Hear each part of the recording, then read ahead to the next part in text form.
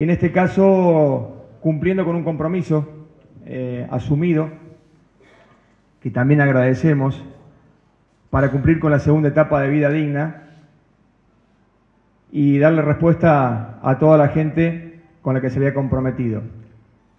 Eso es muy importante, siento yo, para el pueblo, ver coherencia en los dirigentes políticos, decir una cosa y hacer lo mismo. Así que muchísimas gracias. Y también quiero rescatarle a la, presencia de Germán Prato, que en los primeros días de la semana, lunes o martes, charlábamos en la Intendencia y también nos acercaba desde la provincia de Córdoba, representación del gobernador, 120 planillas más de vida digna para la gente de Morteros. Y en estos momentos tan difíciles, eh, son los momentos donde nos tienen que encontrar a todos más juntos, en donde no tienen que existir eh, las diferencias ideológicas ni partidarias, sino que nos tenemos que unir para traer soluciones. Nos tenemos que unir para en estos momentos tan difíciles, donde cuatro de cada diez de nuestros hermanos argentinos son pobres o indigentes, para hacer crecer esta Argentina, para reducir esos números, porque me parece que la verdadera brecha es esa. No es la brecha de la discusión. La brecha es cuando tenés casi la mitad de la sociedad viviendo el día a día. Esa es la brecha. La brecha es generar trabajo, es generar progreso. Para que todos puedan tener, para mí, la mejor política social que pueda haber.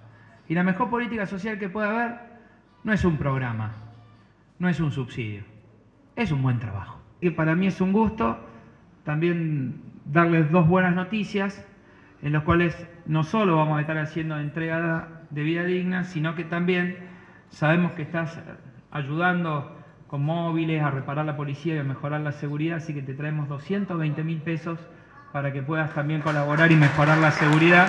Y me acuerdo una de las últimas veces que vine y, nos dijeron, che, necesitamos una mano ahí para comprar unos, muebles escolares. Y muy, muy bueno que esto estén, que estén trabajando en conjunto por la educación, que es, que es el presente y es el futuro. Así que también cumpliendo con eso para que compren esto que estaban necesitando, traigo también un cheque de 50 mil pesos para que también esa gestión pueda ser también solucionada.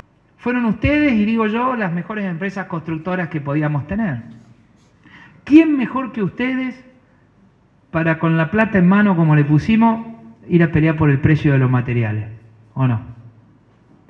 ¿Quién mejor que ustedes, en algunos casos donde hay albanile o algún amigo, para hacer la obra.